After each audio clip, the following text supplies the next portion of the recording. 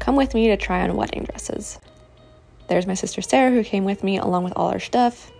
Today we are at the Grace Loves Lace DC showroom. This is literally the dreamiest place to find your wedding dress. We were greeted with champagne and we got a tour of the showroom, literally so pretty.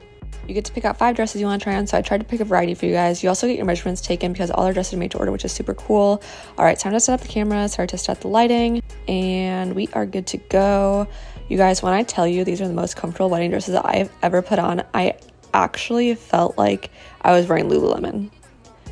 And there's Sarah being the MVP, getting all the shots.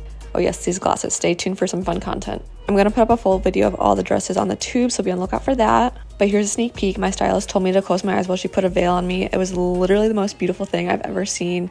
And then we filmed some TikToks before we headed out. We had the best time, and I cannot wait for you guys to see the full video of these dresses.